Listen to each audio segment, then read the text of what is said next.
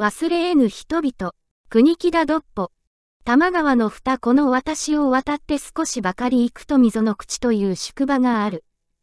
その中ほどに亀屋という旗小屋がある。ちょうど3月の初めの頃であった。この日は大空かき曇り北風強く吹いて、さなきだに寂しいこの町が一段ともの寂しい陰鬱な寒そうな光景を呈していた。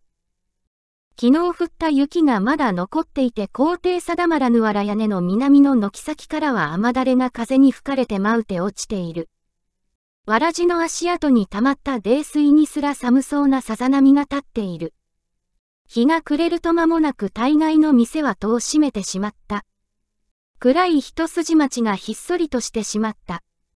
旗小屋だけに亀屋の店の障子には明かりが赤くさしていたが、今宵は客もあまりないと見えてうちもひっそりとして、折々眼首の太そうなキセルで火鉢の縁を叩く音がするばかりである。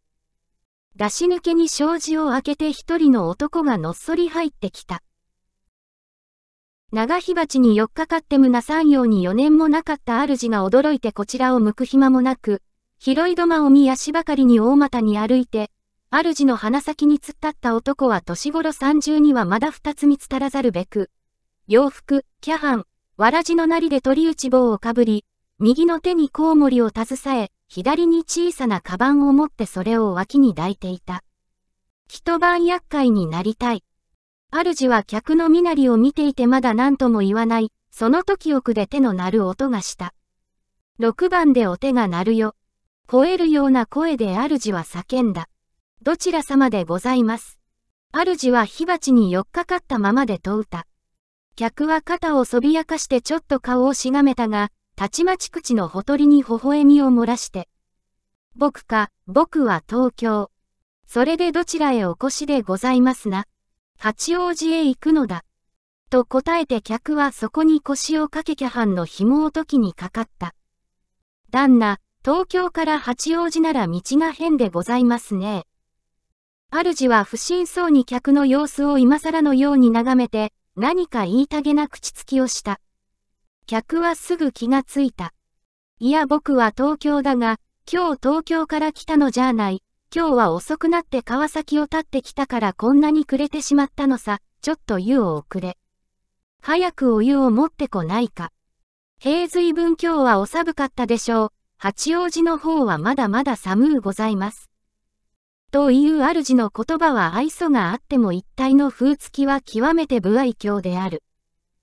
年は六十ばかり、太った体の上に綿の多い斑点を着ているので肩から時期に太い頭が出て、幅の広い福々しい顔のまなじりが下がっている。それでどこかに気難しいところが見えている。しかし正直な親父さんだなと客はすぐ思った。客が足を洗いってしまって、まだ吹き切らぬうち、主は、7番へご案内申しな、と怒鳴った。それぎりで客へは何の挨拶もしない、その後ろ姿を見送りもしなかった。真っ黒な猫がクリアの方から来て、そっと主の高い膝の上に這い上がって丸くなった。主はこれを知っているのかいないのか、じっと目を塞いでいる。しばらくすると、右の手がタバコ入れの肩へ動いてその太い指がタバコを丸め出した。6番さんのお湯が済んだら7番のお客さんをご案内申しな。膝の猫がびっくりして飛び降りた。バカ、貴様に言ったのじゃないわ。猫は慌ててクリアの肩へかけて行ってしまった。柱時計が緩やかに八時を打った。おばあさん、吉蔵が眠そうにしているじゃないか、早く安価を入れてやっておねかしな、かわいそうに。主の声の方が眠そうである、クリアの方で。吉蔵はここで本をさらっていますじゃないかね。おばあさんの声らしかった。そうかな。吉蔵もうお寝よ、朝早く起きておさらいな。おばあさん早く安価を入れておやんな。今すぐ入れてやりますよ。勝手の方でか人おばあさんと顔を見合わしてクスクスと笑った。店の方で大きなあくびの声がした。自分が眠いのだよ。五十を五つ六つ超えたらしい小さな老母がくすぶった安価に火を入れながらつぶやいた。店の障子が風に吹かれてガタガタすると思うとパラパラと雨を吹きつける音がかすかにした。もう店の戸を引き寄せておきな、と主は怒鳴って、舌打ちをして。また降ってきや上がった。と独り言のようにつぶやいた。なるほど風がだいぶ強くなって雨さえ降り出したようである。春先とはいえ、寒い寒いみぞれ混じりの風が広い武蔵野を荒れに荒れてよもすがら、真っ暗な溝の口の町の上を吠え狂った。7番の座敷では12時過ぎてもまだランプがこうこうと輝いている。亀屋で起きているものといえばこの座敷の真ん中で、差し向かいで話している二人の客ばかりである。外は風雨の声いかにも凄まじく、雨戸が絶えず鳴っていた。この模様では明日のお立ちは無理ですぜ。と一人が相手の顔を見て言った。これは六番の客である。何、別に用事はないのだから明日一日くらいここで暮らしてもいいんです。二人とも顔を赤くして鼻の先を光らしている。そばの膳の上に破缶瓶が三本乗っていて、杯には酒が残っている。二人とも心地よさそうに体をくつろげて、あぐらをかいて、火鉢を中にしてタバコをふかしている。六番の客は貝巻きの袖から白い腕を肘まで出して巻きタバコの灰を落としては、吸っている。二人の話しぶりは極めて率直であるものの今宵初めてこの宿で出会って、何かの糸口から二口三口襖越しの話があって、あまりの寂しさに6番の客から押しかけてきて、名刺の交換が済むや、酒を命じ、話に身が入ってくるや、いつしか丁寧な言葉と存在な言葉とを半混ぜに使うようになったものに違いない。7番の客の名刺には大津弁次郎とある、別に何の肩書きもない。6番の客の名刺には秋山松之助とあって、これも肩書きがない。大津とはすなわち日が暮れてついた洋服の男である。痩せ刀、すらりとして色の白いところは相手の秋山とはまるで違っている。秋山は25か6という年配で、丸く超えてあから顔で、目元に愛嬌があって、いつもニコニコしているらしい。大津は無名の文学者で、秋山は無名の画家で不思議にも同種類の青年がこの田舎の旗小屋で落ち合ったのであった。もう寝ようかねえ。随分悪行も言い尽くしたようだ。美術論から文学論から宗教論まで二人はかなり勝手に喋って、今の文学者や画家の大家を手ひどく批評して11時が打ったのに気がつかなかったのである。まだいいさ。どうせ明日はダメでしょうから夜通し話したって構わないさ。画家の秋山はニコニコしながら言った。しかし育児でしょう。と、大津は投げ出してあった時計を見て。おやもう11時過ぎだ。どうせ徹夜でさあ。秋山は一根がなる気である。はいを見つめて。しかし君が眠けりゃあ寝てもいい。眠くはちっともない。君が疲れているだろうと思ってさ。僕は今日遅く川崎を立って三里中ばかしの道を歩いただけだから何ともないけれど。何僕だって何ともないさ、君が寝るならこれを借りていって読んでみようと思うだけです。秋山は半紙10枚ばかりの原稿らしいものを取り上げた。その表紙には、忘れ得ぬ人々、と書いてある。それは本当にダメですよ。つまり君の型で言うと鉛筆で書いたスケッチと同じことで人にはわからないのだから。と言っても大津は秋山の手からその原稿を取ろうとはしなかった。秋山は一枚二枚開けてみてところどころ読んでみて。スケッチにはスケッチだけの面白みがあるから少し拝見したいね。まあちょっと貸してみたまえ。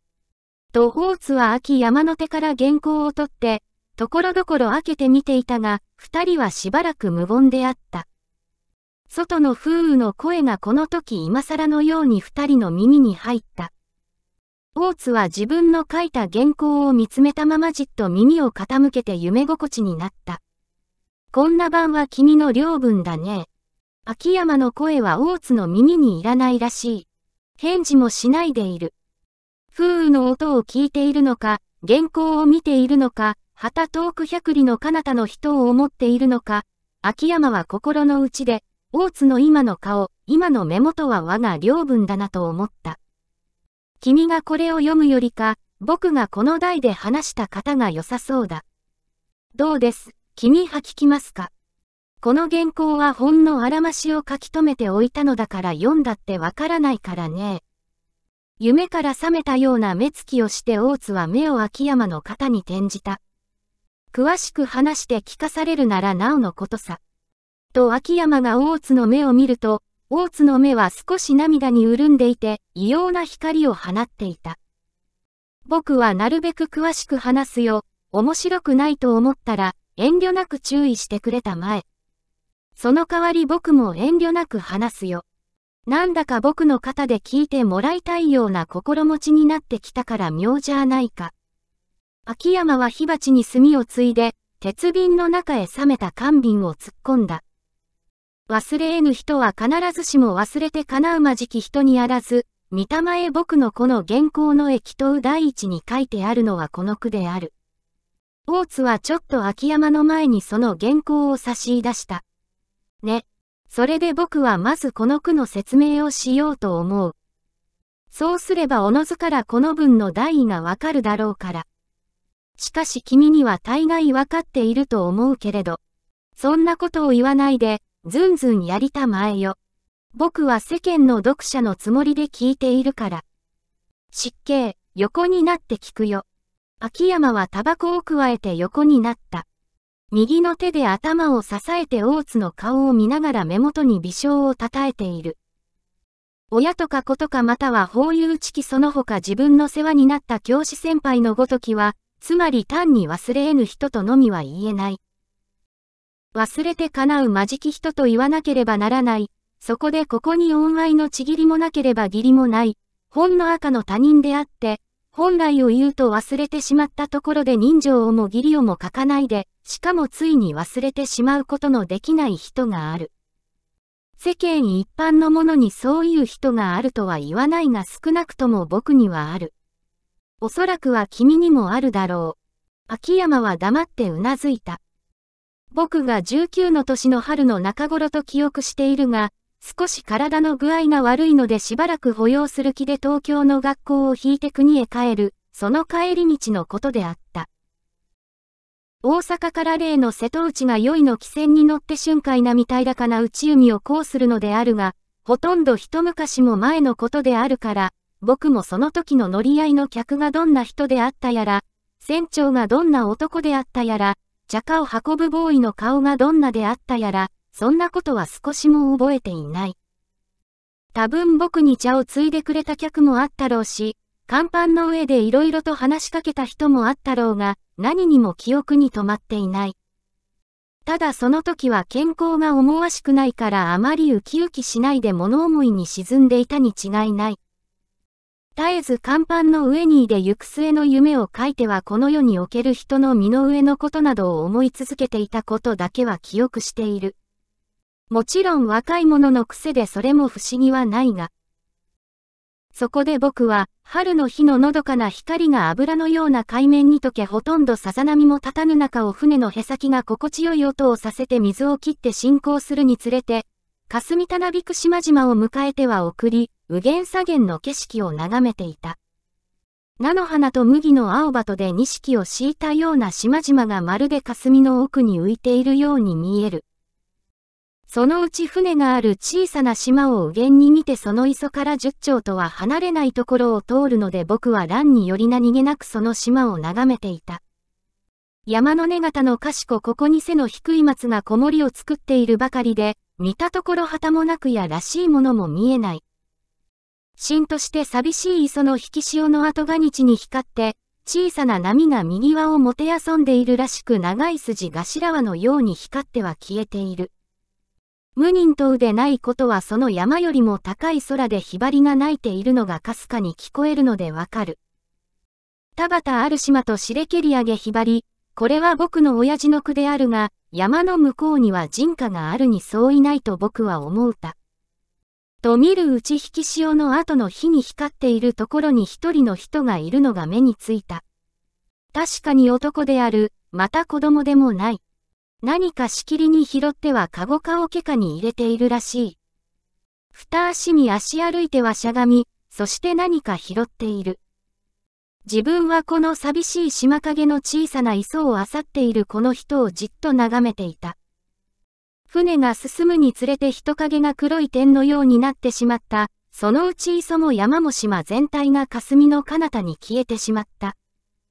その後京賀日までほとんど10年の間、僕は何度この島影の顔も知らないこの人を思い起こしたろう。これが僕の忘れ得ぬ人々の一人である。その次は今から5年ばかり以前、正月元旦を父母の膝元で祝ってすぐ九州旅行に出かけて、熊本から大分へと九州を横断した時のことであった。僕は朝早く弟と共にわらじキャハンで元気よく熊本を立った。その日はまだ日が高いうちに立て野という宿場まで歩いてそこに一泊した。次の日のまだ登らないうち立て野を立って、かねての願いで阿蘇山の枠園をめがけて下を踏み桟橋を渡り、道を間違えたりしてようやくお昼自分に絶頂近くまで登り、噴火口に達したのは1時過ぎでもあっただろうか。熊本地方は温暖であるが上に、風のないよく晴れた日だから、冬ながら6000弱の高山も様では寒く感じない。高竹の頂は噴火口から吐き出す水蒸気が凝って白くなっていたがその他は満山ほとんど雪を見ないで、ただ枯れ草白く風にそよぎ、焼け土のあるいは赤きあるいは黒きが旧噴火口の名残をかしこここに止めて断崖をなし、その光量たる、光景は筆も口もかなわない、これを書くのはまず君の領分だと思う。僕らは一度噴火口の縁まで登って、しばらくは凄まじい穴を覗き込んだりよもの体感を欲しいままにしたりしていたが、さすがに頂は風が寒くってたまらないので、穴から少し降りると阿蘇神社があるそのそばに小さな小屋があって晩茶くらいは飲ませてくれる。そこへ逃げ込んで結びをかじって元気をつけて、また噴火口まで登った。その時は火が猛威ほど傾いて日後の縁矢を立て込めているもやが焦げて赤くなってちょうどそこに見える旧噴火口の断崖と同じような色に染まった。円錐形にそびえて高く軍法を抜くここのエレーノスそのの高原数里の枯れ草が一面に石葉を帯び、空気が水のように澄んでいるので人馬の行くのも見えそうである。天地両角、しかも足元では凄まじい響きをして白煙猛々と立ち上りまっすぐに空を突き急に折れてたか竹岡すめ店の一方に消えてしまう。そうと言わんかみと言わんかさんと言わんか、僕らは黙ったまま一言も出さないでしばらく石像のように立っていた。この時天地悠々の間、人間存在の不思議の念などが心の底から湧いてくるのは自然のことだろうと思う。ところで最も僕らの缶を引いたものはここのエレと阿蘇山との間の一大窪地であった。これはかねて世界最大の噴火口の旧跡と聞いていたがなるほど、ここのエレの高原が急に落ち込んでいて数里に渡る絶壁がこの窪地の西を巡っているのが眼下によく見える。南大山6の噴火口は明備湧水の中禅寺湖と変わっているがこの大噴火口はいつしか五国実る数千丁部の田園と変わってそんなくいくこの麒麟や麦畑が今しも斜陽静かに輝いている。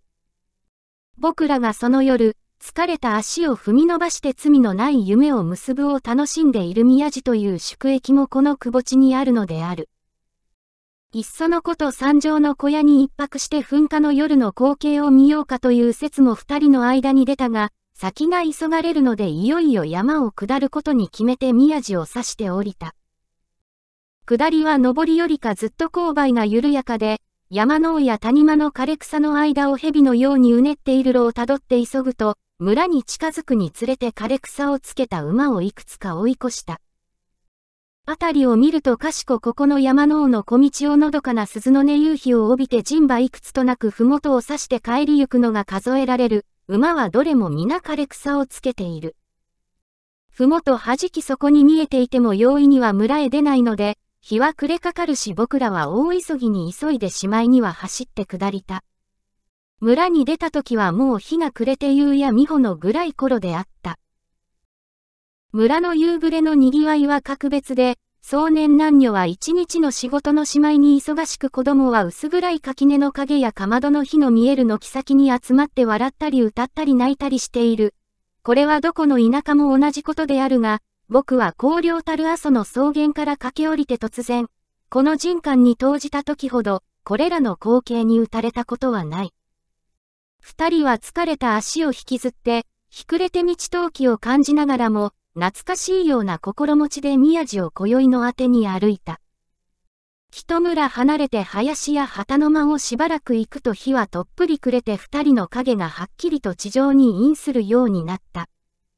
振り向いて西の空を仰ぐと阿蘇の分派の和峰の右に新月がこの窪地一帯の村落を我が物が尾に澄んで青みがかった水のような光を放っている。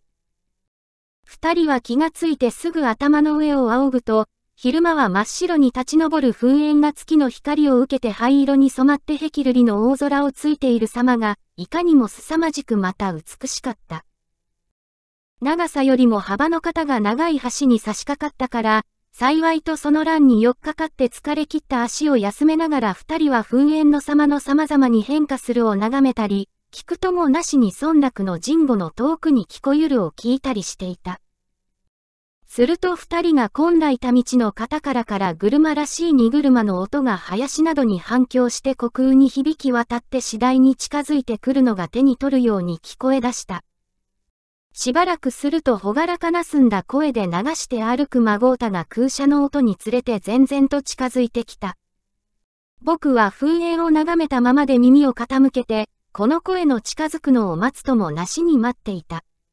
人影が見えたと思うと、にやじゃ良いところじゃ阿蘇山ふもと、という歌を長く弾いてちょうど僕らが立っている橋の少し手前まで流してきたその歌の心と悲壮な声とがどんなに僕の心を動かしたろう。24、五かと思われる屈強な若者が手綱を引いて僕らの肩を見向きもしないで通ってゆくのを僕はじっと見つめていた。夕月の光を背にしていたからその横顔もはっきりとは知れなかったがそのたくましげな体の黒い輪郭が今も僕の目の底に残っている。僕は若者の後ろ影をじっと見送って、そして阿蘇の噴煙を見上げた。忘れ得ぬ人々の一人はすなわちこの若者である。その次は四国の三ヶ浜に一泊して汽船便を待った時のことであった。夏の初めと記憶しているが僕は朝早く宿を出て汽船の来るのは午後と聞いたのでこの港の浜や町を散歩した。奥に松山を控えているだけこの港の繁盛は格別で、分けても朝は魚市が立つので魚市場の金棒の雑踏は非常なものであった。大空は名残なく晴れて朝日うららかに輝き、光るものには反射を与え、色あるものには光を添えて雑踏の光景をさらににぎにぎしくしていた。叫ぶ者呼ぶ者、小生危機としてここに起これば、観言葉乱れて賢に湧くというありさまで、売る者買う者、老若男女、いずれも忙しそうに面白そうに嬉しそうに、かけたり追ったりしている。露店が並んで立ち食いの客を待っている。売っているものは言わずもがなで、食ってる人は大概鮮豆腐な方の類に決まっている。タイやヒラメや名古屋タコがそこらに投げ出してある。生臭い匂いが人々の立ち騒ぐ袖や裾に煽られて鼻を打つ。僕は全くの旅客でこの土地には縁もゆかりもない身だから、知る顔もなければ見覚えのハゲ頭もない。そこでなんとなくこれらの光景が異様な感を起こさせて、世の様を一段鮮やかに眺めるような心地がした。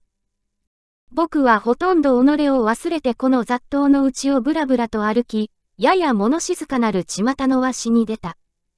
するとすぐ僕の耳に入ったのは琵琶の音であった。そこの店先に一人の琵琶僧が立っていた。年の頃四十を五つ六つも超えたらしく、幅の広い四角な顔の丈の低い超えた男であった。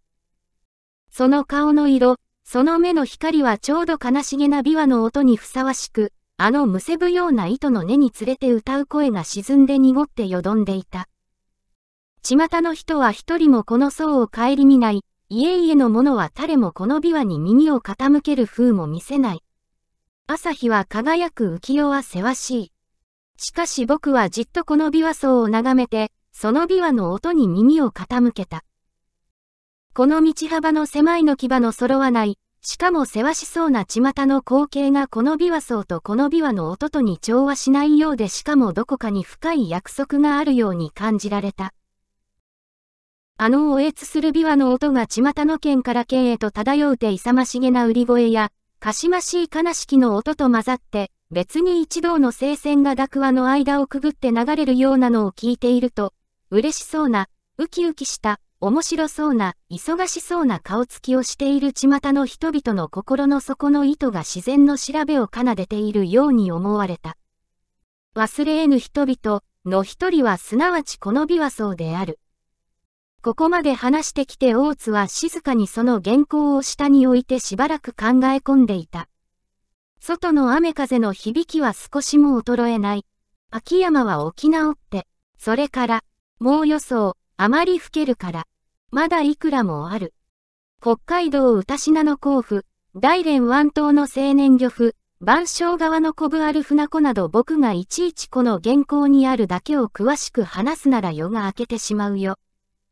とにかく、僕がなぜこれらの人々を忘れることができないかという、それは思い起こすからである。なぜ僕が思い起こすだろうか。僕はそれを君に話してみたいがね。要するに僕は絶えず人生の問題に苦しんでいながらまた自己将来の体毛に寄せられて自分で苦しんでいる不幸せな男である。そこで僕は今宵のような晩に一人夜更けて灯火に向かっているとこの性の孤立を感じて耐え難いほどの愛情を催してくる。その時僕のシュガの角がぼきり折れてしまって、なんだか人懐かしくなってくる。いろいろの古いことや友の上を考え出す。その時悠然として僕の心に浮かんでくるのはすなわちこれらの人々である。そうでない、これらの人々を見た時の周囲の光景のうちに立つこれらの人々である。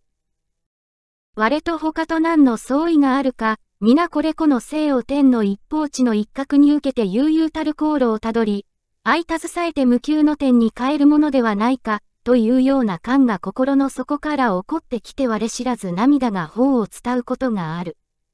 その時は実に我もなければ人もない、ただ誰も彼も懐かしくって、忍ばれてくる。僕はその時ほど心の平穏を感ずることはない。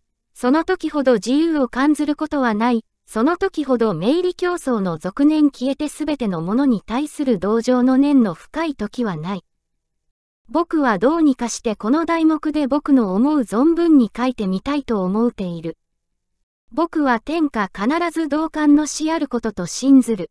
その後2年経った。大津はゆえあって東北のある地方に住まっていた。溝の口の宿で初めて会った秋山との交際は全く絶えた。ちょうど、大津が溝口に泊まった時の時効であったが、雨の降る晩のこと。大津は一人机に向かって瞑想に沈んでいた。机の上には2年前秋山に示した原稿と同じの、忘れ得ぬ人々、が置いてあって、その最後に書き加えてあったのは、亀屋の主、であった。秋山、ではなかった。定本、武蔵野、岩波文庫、岩波書店。1939、昭和14年2月15日第一釣り発行。1972、昭和47年8月16日第37釣り開版発行。2002、平成14年4月5日第77釣り発行。定本の親本、武蔵野民有社。1901、明治34年3月。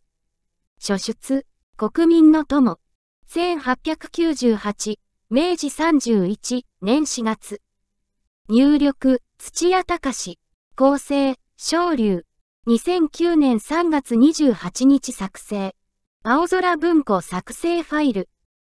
このファイルは、インターネットの図書館、青空文庫、http コロンスラッシュスラッシュ www. 青空 .gr.jp スラッシュで作られました。入力、構成、制作に当たったのは、ボランティアの皆さんです。